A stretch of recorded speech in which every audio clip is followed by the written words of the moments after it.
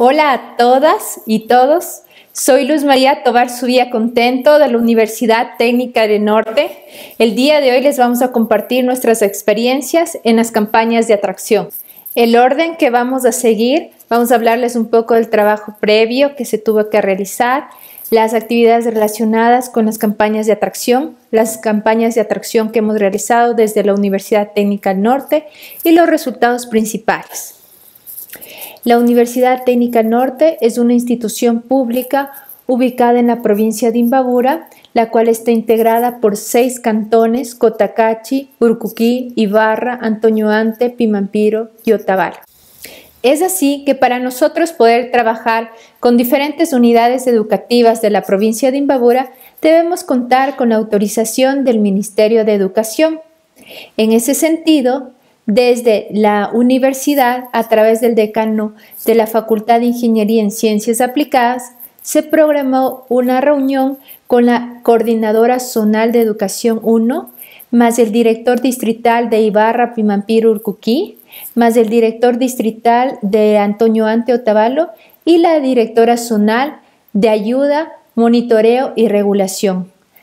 Después de contar con la autorización, se realizó una reunión con diferentes rectores de las unidades educativas para sociabilizarles el proyecto, contarles cuáles son los objetivos de las campañas de atracción y poder tener un enlace directo con las diferentes autoridades y a su vez nos permitan acceder a sus instituciones educativas. Además, otras actividades que se realizaron en paralelo fue la creación de una base de datos de estudiantes graduadas en las áreas de ingeniería, también lo que es potencializar el proyecto a través de las redes sociales, posteando fiches que representen lo que es el talento de la mujer en las áreas de STEM. También se aprovecharon los diferentes medios de comunicación, radio, televisión de la universidad para difundir las actividades que vamos a hacer.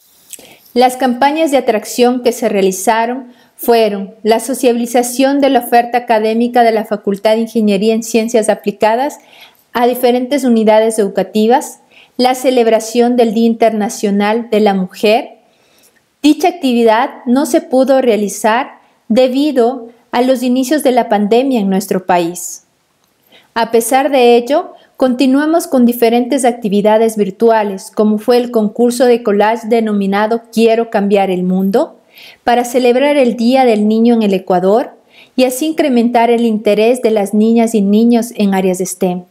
También realizamos la Feria Virtual de Proyectos para promover las vocaciones por carreras de STEM y también proporcionar información sobre las temáticas en las que pueden trabajar dentro de las áreas de STEM.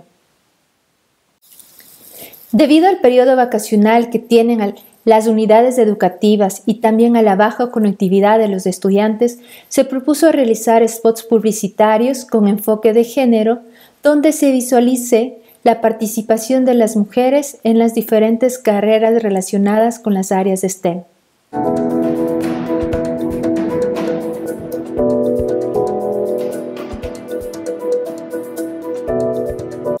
Finalmente, los resultados principales de las campañas de atracción, donde se logró visualizar el talento de la mujer en la ingeniería, empoderar a jóvenes de las unidades educativas, resaltar la importancia de la participación de las mujeres en carreras técnicas.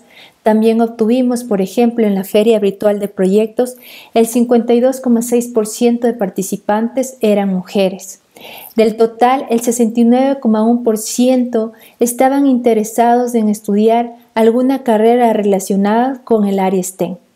Muchas gracias a todas y todos. Estas fueron nuestras experiencias desde la Universidad Técnica del Norte.